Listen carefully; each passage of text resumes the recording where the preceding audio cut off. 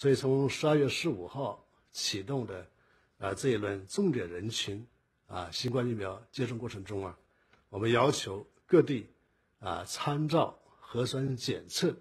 应检尽检的模式，由各由各级政府组织和安排啊费用保障，推进新冠肺炎疫苗的接种，啊个人不承担呃疫苗的成本和接种的费用。附条件上市以后，疫苗免费接种呢，呃，是在居民知情自愿的前提下，企业按议定的价格提供的疫苗的费用，加上我们接种服务等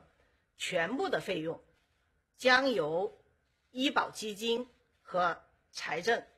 共同负担，居民个人无负担费用。